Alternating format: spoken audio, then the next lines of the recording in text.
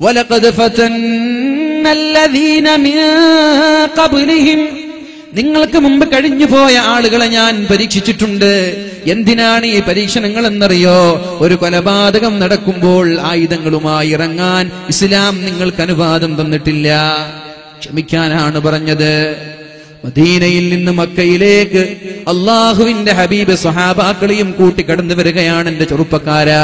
ഈ ഒരു സംഭവം നിങ്ങൾ മറന്നുപോകരുത്. എന്റെ ചെറുപ്പക്കാരോട് വളരെ സ്നേഹത്തോട് പറയുകയാണ് ഫാസിസ്റ്റ് ശക്തികൾ ഇവിടെ വർഗീയ ധ്രുവീകരണങ്ങൾ ഉണ്ടാക്കി മതസ്പർദ്ധയുണ്ടാക്കി മുസ്ലിമിന്റെയും ഹിന്ദുവിന്റെയും ചോര കുടിച്ച് ഇവിടെ ഭിന്നിപ്പം ഇവിടെ പ്രശ്നങ്ങളും ഉണ്ടാക്കാൻ ശ്രമിക്കുമ്പോ എന്റെ പൊന്നു ചെറുപ്പക്കാരോട് പറയാനുള്ളത് ക്ഷമയാണ് നമ്മുടെ മുഖമുദ്ര. ക്ഷമിക്കാനാണ് പരിശുദ്ധ ദീൻ നമ്മോട് പഠിപ്പിച്ചത്. ഇതിനേക്കാളും വലുത് ഇതിനേക്കാളും വലിയ പീഡനങ്ങളുടെ കഥകൾ ഇതിനേക്കാളും വലിയ പരീക്ഷണങ്ങളുടെ നൂലാമാലകൾ അള്ളാഹുവിന്റെ ഹബീബും സ്വഹാബാക്കളും അനുഭവിച്ചിട്ടുണ്ട്. മദീനയിൽ നിന്ന് ഈ വർഷം ഉംറ ചെയ്യണമെന്ന താല്പര്യത്തോടെ സ്വഹാബാക്കളോട് പറഞ്ഞു എന്റെ സ്വഹാബ ഞാനൊരു സ്വപ്നം കണ്ടിട്ടുണ്ട്. കാബയിൽ ചെന്ന് ഉംറ ചെയ്യുന്ന സ്വപ്നം കണ്ടിട്ടുണ്ട്. ഞങ്ങൾക്ക് പോയി ഉംറ ചെയ്യുകയല്ലേ എന്ന് പറഞ്ഞിട്ട് അള്ളാഹുവിന്റെ ഹബീബും സ്വഹാബാക്കളും അങ്ങ് മക്കയിലേക്ക് കടന്നു വരികയാണ്. നാലായിരത്തി ചില്ലാനം സ്വഹാബാക്കളുണ്ട്. ഇത് എപ്പോ വരുന്നതെന്നറിയോ? ബദർ യുദ്ധം വിജയിച്ചവരാണ് മുസ്ലിമീങ്ങൾ. മക്കാരുമായി ശക്തമായി യുദ്ധം കഴിഞ്ഞ് ബദർ യുദ്ധത്തിൽ വിജയശ്രീയാളിതനായി വിജയത്തിന്റെ പരാ പതാക ആകാശലോകത്ത് വെന്നിക്കൊടി പറപ്പിച്ചവരാണ് മുസ്ലിമീങ്ങൾ. ആ നാലായിരക്കണക്കിന് സ്വഹാബാക്കളുമായി മദീനയിൽ നിന്ന് മക്കയിലേക്ക് അള്ളാഹുവിന്റെ ഹബീബും സ്വഹാബാക്കളും കടന്നു വരികയാണ്. ഉംറ ചെയ്യാൻ വേണ്ടി. അപ്പോഴാണ് മഹാനായ ഉസ്മാൻ തങ്ങളെ പറഞ്ഞേക്കുന്നത് മക്കാരായ മുഷരിക്കീങ്ങളുടെ തീരുമാനം എന്തെന്നറിയാൻ.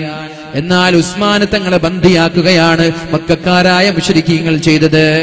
നബി തങ്ങളെ ഹുദൈബിയിലെത്തിയപ്പോ മക്കാരായ മുഷ്രിഖീങ്ങൾ വന്നിട്ട് തടയുകയാണ്. ഉംറ ചെയ്യാൻ ഞങ്ങൾ അനുവദിക്കൂല. ഉംറ ചെയ്യാൻ ഞങ്ങൾ അനുവദിക്കൂല. നേരെ തിരിച്ചു മദീനയിലേക്ക് തിരിച്ചു പോകണമെന്ന് അള്ളാഹുവിന്റെ ഹബീബിനോട് പറഞ്ഞപ്പോ നബി തങ്ങളൊന്ന് വിരലനക്കിയാൽ നാലായിരക്കണക്കിന് ആളുകൾ മരിക്കാൻ തയ്യാറായി. അള്ളാഹുവിന്റെ സ്വർഗത്തിലേക്ക് രക്തസാക്ഷിയായി ഷഹീദായി പാറിപ്പറന്ന് കടന്നു പോകാൻ താല്പര്യത്തോടെ യുദ്ധത്തിന് കൊതിച്ചു നിൽക്കുന്ന സഹാബാക്കൾ എന്തും ചെയ്യാൻ തൽപരരായ നാലായിരക്കണക്കിന് വാളൂരിപ്പിടിച്ച സഹാബാക്കൾ ഉണ്ടാകുമ്പോ ലഭിത്തങ്ങൾ പറഞ്ഞു കൂൾ സമാധാനായിട്ടിരിക്കും. സഹാബാക്കൾക്കൊക്കെ ഒന്ന് രോമൊക്കെ ഒന്ന് എണീറ്റു. അവർ പറഞ്ഞു നബിയെ യുദ്ധം ചെയ്യാൻ ഞങ്ങൾ യുദ്ധത്തിനാണെങ്കിൽ യുദ്ധത്തിന് തയ്യാറാണ്. ഉമ്ര ചെയ്യാൻ വന്നവരാണ് ഞങ്ങൾ. ഉമ്ര ചെയ്യാതെ തിരിച്ചു പോവില്ല. ഉമ്ര ചെയ്യാതെ തിരിച്ചു പോവില്ല. സഹിൽ എന്ന് പറയുന്ന ഒരാളെ സന്ധിക്ക് വേണ്ടി പറഞ്ഞേക്കുകയാണ് സഹിൽ എന്ന് പേരുള്ള ഒരു മുഷ്രിഖിനെ നിബിത്തങ്ങളുമായി സന്ധി ചെയ്യാൻ. എന്താണ് സന്ധി? നിബിത്തങ്ങൾ എഴുതി കൊടുത്തു കേൾക്കണേ. എന്റെ പ്രിയമുള്ള സഹോദരിമാരെ ചെറുപ്പക്കാരാ എന്റെ പ്രിയമുള്ള കാസർഗോട്ടിലെ സ്നേഹനിധികളായ എന്റെ സുഹൃത്തുക്കളോട് പറയാനുള്ളത്. അള്ളാഹുവിന്റെ ഹബീബ് എഴുതാൻ പറഞ്ഞു അലി തങ്ങളോട് ബിസ്മില്ലാഹിർ റഹ്മാനിർ റഹീം കരുണാകരനും കാരുണ്യവാനുമായ അള്ളാഹുവിന്റെ നാമം കൊണ്ട് തുടങ്ങുന്നു എന്ന് എഴുതാൻ പറഞ്ഞപ്പോ സഹൽ പറയാണ് റഹ്മാനെയും റഹീമിനെയും ഞങ്ങൾക്കറിയില്ല. ബിസ്മില്ല എന്ന് എഴുതിക്കോ. നിങ്ങൾ റഹ്മാനും റഹീമൊന്നും ഞങ്ങൾക്കറിയില്ല. ബിസ്മില്ല എന്ന് എഴുതിക്കോ. എഴുതിയതിനെ വെട്ടി റഹ്മാനും വെട്ടി റഹീമും വെട്ടി ബിസ്മില്ല എന്നാക്കി. വിധങ്ങൾക്ക് വേണമെങ്കിൽ കേൾക്കാതിരിക്കാം. അടുത്തത് മിൻ മുഹമ്മദ് റസൂലില്ല. അള്ളാഹുവിന്റെ പ്രവാചകനായ മുഹമ്മദാണ് എഴുതുന്നത്. മിൻ മുഹമ്മദ് ബിൻ അബ്ദില്ല. എന്നെഴുതിയാൽ മതി റസൂലുള്ള എന്നത് വേണ്ട. നിങ്ങൾ റസൂലാണെന്നുള്ള വിശ്വാസം ഞങ്ങൾക്കുണ്ടെങ്കിൽ ഞങ്ങൾ നിങ്ങൾ കൂടെ വരൂലേ. നിങ്ങൾ പ്രവാചകനാണെന്ന് ഞങ്ങൾക്ക് വിശ്വാസമില്ല. അതുകൊണ്ട് മുൻ മുഹമ്മദ് റസൂലില്ല എന്ന് വേണ്ട. മുഹമ്മദ് ബിൻ അബ്ദില്ല എന്ന് എഴുതിയാൽ മതി. അലിയിനോട് വെട്ടാൻ പറഞ്ഞപ്പോ ആ റസൂലുള്ള എന്നത് വെട്ടാൻ പറഞ്ഞപ്പോ അലി തങ്ങളുടെ കൈകൾക്ക് ധൈര്യം വന്നില്ല. എങ്ങനെയാണ് റസൂലുള്ള എന്നൊരു പദം വെട്ടിപ്പോകുന്നത്? ഹബീബിനോട് സ്നേഹമുള്ള ഒരാൾക്ക് എങ്ങനെയാണ് റസൂലുള്ള എന്ന് പറഞ്ഞ വാക്കിന്റെ മുകളിൽ പേന കൊണ്ട് എഴുതാൻ പറ്റുന്നത്? അലി പറഞ്ഞു നബിയെ എനിക്ക് പറ്റൂല നബിയെ എനിക്ക് പറ്റൂല. അവസാനം അള്ളാഹുവിന്റെ ഹബീബ് നിർബന്ധിപ്പിച്ചപ്പോ മഹാനായ അലി തങ്ങൾക്ക് വിട്ടേണ്ടി വന്നു. എന്നിട്ട് തീരുമാനം എന്താ മദീനയിൽ നിന്ന് ഇസ്മദീനയിൽ നിന്ന് മുസ്ലിമീങ്ങളായ ആളുകളിൽ നിന്ന് ആരെങ്കിലും മക്കയിലേക്ക് കടന്നു വന്നാൽ അവരെ ഞങ്ങൾ രണ്ട് കൈയും നീട്ടി സ്വീകരിക്കും എന്നാൽ മക്കയിൽ നിന്ന് ആരെങ്കിലും മുസ്ലിമായി മദീനയിലേക്ക് വന്നാൽ നിങ്ങൾ അവരെ സ്വീകരിക്കാൻ പാടില്ല പറഞ്ഞേക്കണം. കേൾക്കുന്നുണ്ടോ? അവിടെ സ്ക്രീൻ ഉണ്ടോ? ഉണ്ടോ? അതെല്ലാരും അങ്ങോട്ട് നോക്കുന്നല്ലേ ഞാൻ വിചാരിക്കും എന്താ എല്ലാരും അങ്ങോട്ട് നോക്കുന്നത് മദീനയിൽ നിന്ന് ആരെങ്കിലും ഇസ്ലാമിൽ നിന്ന് പിന്മാറി മക്കയിലേക്ക് കടന്നു വന്നാൽ മക്കയിലേക്ക് കടന്നു വന്നാൽ അവരെ സ്വീകരിക്കും ഞങ്ങളവരെ കൈയും നീട്ടി സ്വീകരിക്കും. എന്നാൽ മക്കയിൽ നിന്ന് ആരെങ്കിലും ഇസ്ലാമിലേക്ക് കടന്നു വന്നാൽ അവരെ നിങ്ങൾ സ്വീകരിക്കാൻ പാടില്ല. ഒപ്പുവെക്ക് ഒപ്പ് ചെയ്തു. നിങ്ങൾ ആലോചിച്ച് ഇങ്ങനെ ഒരു ഒപ്പിന് നിങ്ങൾ തയ്യാറാവോ? നബി തങ്ങൾ തയ്യാറാവാണ്. കുഴപ്പമില്ല. മുസ്ലിമായിട്ട് വന്നവരെ നിങ്ങൾക്ക് ഞങ്ങൾ സ്വീകരിക്കൂല. എന്നാൽ ഞങ്ങൾ ആളിൽ നിന്ന് വന്നാൽ നിങ്ങൾ സ്വീകരിച്ചോളി. ഒപ്പിട്ട് കൊടുത്തു. പിന്നെ അടുത്ത വാഗ്ദാനം പത്ത് വർഷത്തോളം ഉമ്ര ചെയ്യാൻ നിങ്ങൾ വരാൻ പാടില്ല. പത്ത് വർഷക്കാലം മദീനയിൽ നിന്ന് മക്കയിലേക്ക് വരാൻ പാടില്ല. വീണ്ടും ഒപ്പ് ചെയ്തു ഒപ്പ് വെച്ചു കൊടുത്തു. അപ്പോഴാണ് സഹിൽ എന്ന് പറയുന്ന ഒപ്പുവെക്കുന്ന സന്ധി ചെയ്യുന്ന ഒരാളുടെ ആ സഹോദരന്റെ മകൻ ഇസ്ലാം സ്വീകരിച്ച് ഹബീബിന്റെ സമീപത്തേക്ക് കടന്നു വരുന്നത്. കൈകാലുകളിൽ ചങ്ങലയുണ്ട്. അബൂജന്തൽ റതിയല്ലാഹുന്നു അദ്ദേഹത്തിന്റെ കൈകളിൽ ചങ്ങല കെട്ടുകളുണ്ട് എവിടെയോ ബന്ദിയാക്കിയിരിക്കുന്ന സ്ഥലത്തു നിന്ന് ശത്രുക്കളോട് പോരാടി കൈകാലുകളിലുള്ള ചങ്ങലകൾ പൊട്ടിച്ചുകൊണ്ട് ഹബീബിന്റെ സമീപത്തേക്ക് ഓടി വന്നുകൊണ്ട് പറഞ്ഞു യാ അള്ളാഹുവിന്റെ ഹബീബേ ഞാൻ അങ്ങയുടെ കൂടെ മദീനയിലേക്ക് കടന്നു വരികയാണ് നബിയെ. എന്നെയും താങ്കൾ മദീനയിലേക്ക് കൂടെ കൊണ്ടുപോകണമെന്ന് പറഞ്ഞപ്പോ ശത്രുക്കളുടെ ശിക്ഷ സഹിക്കാൻ ഞങ്ങൾക്ക് കഴിയുന്നില്ല. ശത്രുക്കളുടെ പരീക്ഷണം സഹിക്കാൻ കഴിയുന്നില്ല. ജയിൽ പുള്ളിയാക്കി ക്രൂരമായി പീഡിപ്പിക്കുകയാണ് റസൂലെ. എന്റെ ശരീരത്തിലുള്ള അടികളുടെ പാടുകൾ കാണുന്നുണ്ടല്ലോ. ഞാൻ അങ്ങയുടെ കൂടെ കടന്നു വരട്ടെ എന്ന് മുത്തുനബിയോട് ചോദിച്ചപ്പോ അവിടെയുള്ള സ്വഹാബാക്കളുടെ കൺതടങ്ങൾ നിറഞ്ഞു പോയെങ്കിലും അള്ളാഹുവിന്റെ ഹബീബ് അബൂജന്തലിനോട് പറയാണ് അബൂജന്തലെ എന്റെ കൂടെ വരാൻ പറ്റൂല. കാരണം ഒപ്പുവെച്ച് കഴിഞ്ഞുപോയി. കഴിഞ്ഞു പോയി ഒപ്പ് വെച്ച് കഴിഞ്ഞു. ഇനി വരാൻ പറ്റൂല.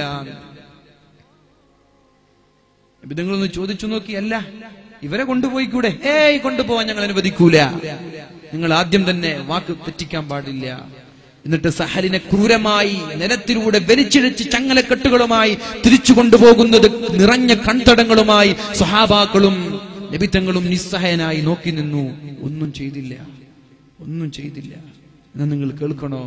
മഹാന്മാരായ സ്വഹാബാക്കൾ പറയാണ് ഈ ഒരു ഉടമ്പടി കഴിഞ്ഞപ്പോഴാണ് മഹാനായ ഉമർ ഇബ്നുൽ ഖത്താബ് കടന്നു വരുന്നത്.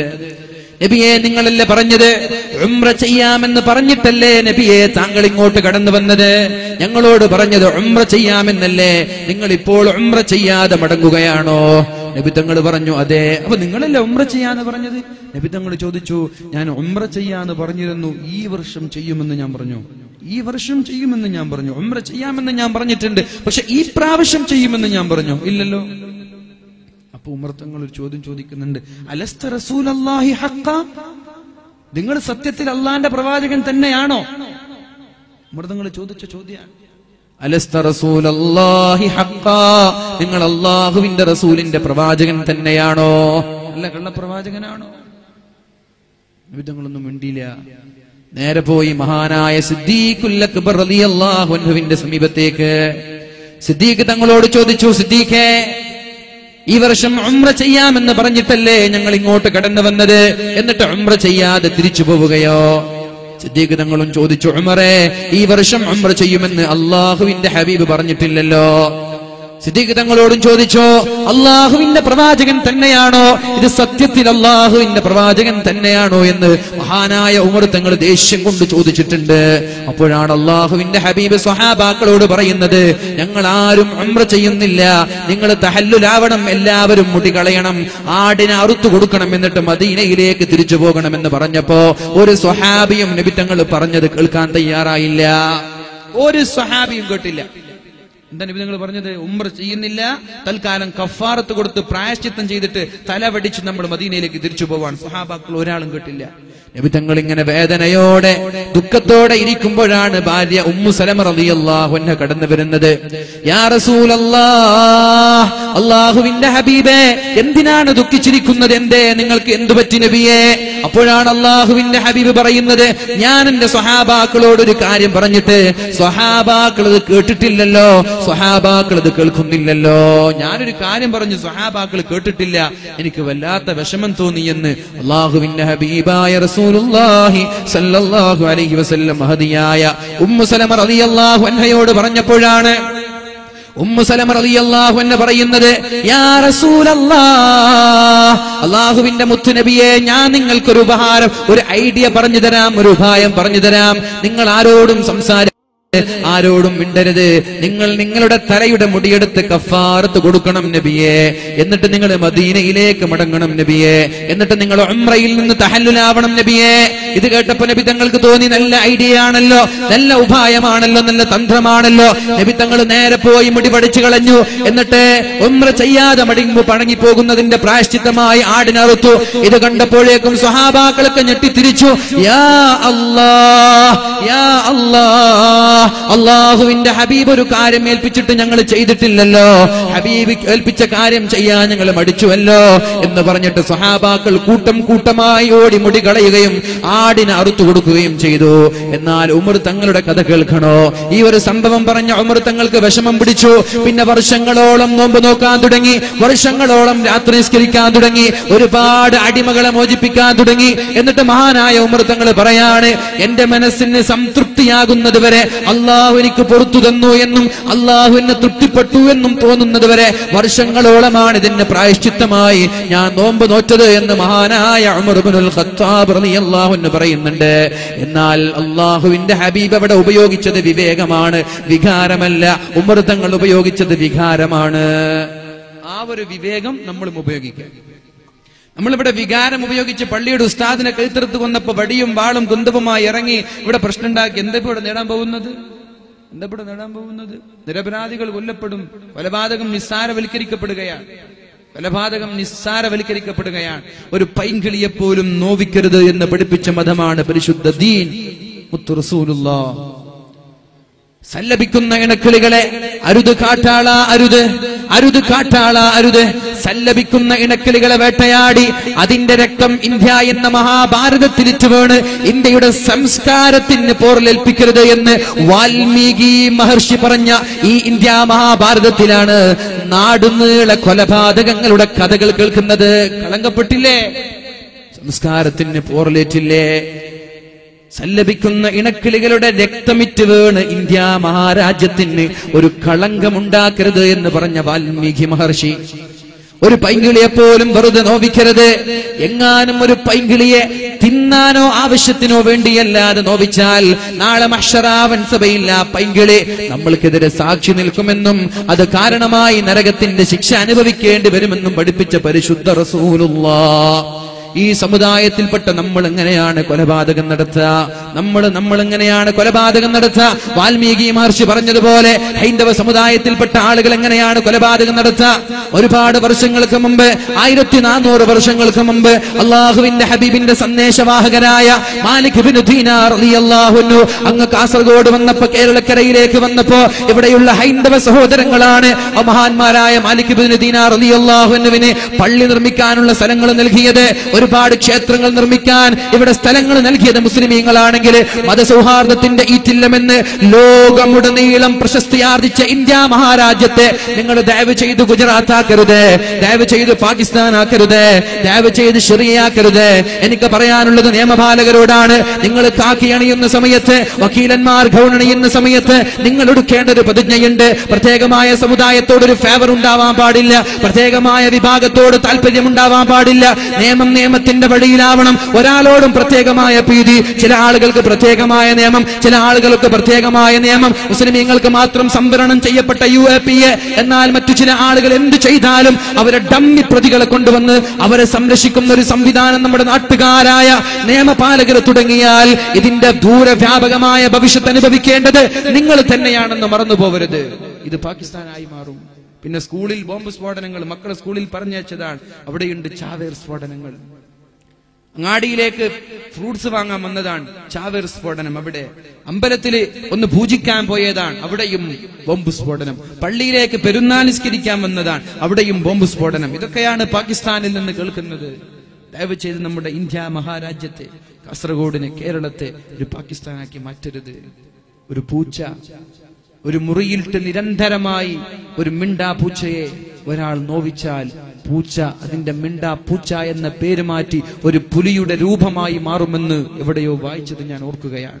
നിരപരാധികളായ ആളുകളെ വളരെ ക്രൂരമായിട്ടും നിഷ്ഠൂരമായിട്ടും പള്ളികളിലും മിമ്പറുകളിലും മിനാരങ്ങളിലും കയറി വളരെ നിഷ്ഠൂരമായി കൊല ചെയ്യപ്പെടുമ്പോ അവരെ സംരക്ഷിക്കുന്ന ഒരു തീരുമാനം നമ്മുടെ നിയമപാലകരിൽ നിന്നുണ്ടാവാൻ പാടില്ല. നിങ്ങൾക്ക് വിശ്വാസമുണ്ട് നിങ്ങൾ നിങ്ങളെ പ്രതീക്ഷിക്കുകയാണ്. നമ്മുടെ നാട്ടിൽ സമാധാനം നിലനിൽക്കണം. അതുകൊണ്ട് എന്റെ പ്രിയപ്പെട്ട ചെറുപ്പക്കാരോട് പറയുന്നത് അള്ളാഹുവിന്റെ ഹബീബ് അവിടെ വിവേകം കൊണ്ട് പ്രവർത്തിച്ചപ്പോ രണ്ട് വർഷം കൊണ്ട് മക്ക മുഴുവനും ഒരു ഒരു ചോര പോലും വിറ്റുവീഴാതെ നബി തങ്ങളുടെ കൈകളിലേക്ക് കടന്നു വന്നു സഹാബാക്കൾ പറയാണ് ഫതഹുമക്ക മക്കയിൽ അള്ളാഹുവിന്റെ ഹബീബും സ്വഹാബാക്കൾക്കും മക്ക വിജയമുണ്ടായത്. സത്യത്തിൽ മക്ക വിജയം അന്നല്ല ഉണ്ടായത്. ഹുദൈബിയ സന്ധി നടന്നപ്പോ അള്ളാഹുവിന്റെ ഹബീബ് വികാരത്തിന് അടിമപ്പെടാതെ വിവേകം കാണിച്ചതുകൊണ്ടാണ് മക്കത്തുൽ ഫതഹ് വിശാലമായ മക്ക എന്ന നാട് അള്ളാഹുവിന്റെ ഹബീബിന് തിരിച്ചു ലഭിക്കാനുള്ള കാരണം അന്നത്തെ ക്ഷമയായിരുന്നു സംയമനമായിരുന്നു എന്ന് മഹാന്മാരായ സ്വഹാബാക്കൾ പഠിപ്പിക്കുമ്പോ എന്റെ പ്രിയപ്പെട്ട ചെറുപ്പക്കാരാ എന്റെ പ്രിയപ്പെട്ട കാസർഗോട്ടിലുള്ള സ്നേഹനിധികളായ സുഹൃത്തുക്കളെ എനിക്ക് പറയാനുള്ളത് സംയമനം സംയമനമാണ് നമ്മുടെ ആയുധം. നമ്മുടെ ആയുധം ക്ഷമയാണ്. അള്ളാഹുവിനോട് ദ്വാ ചെയ്യലല്ലാതെ പരിഹാരമില്ല.